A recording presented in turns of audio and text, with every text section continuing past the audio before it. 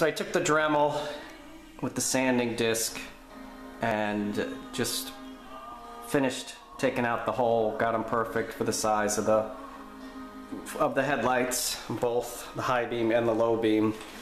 The lights themselves need to be modified slightly. One of the where it's marked top on the on the back of here, this tab needs to just be cut off. This one's plastic on the low beam. You can see it's a low beam because you can't see the bulb. The plate in there blocks it. And just cut it off with a hacksaw.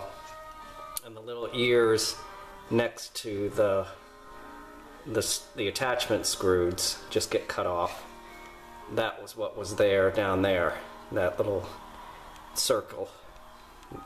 And you can see on this one, it says top right down inside of there.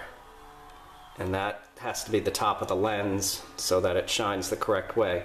So that gets cut off. On the high beam, only one of the tabs needs to be cut off. Same thing, it's aluminum just with a hacksaw and it gets cut off and that's now ready to pop in there. So take a look at the the uh, low beam, which I put on the inside. Just fits better.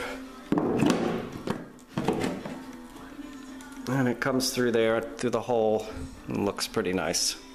Just a little fine tuning, a little sanding of, of it, and it'll be ready for for primer.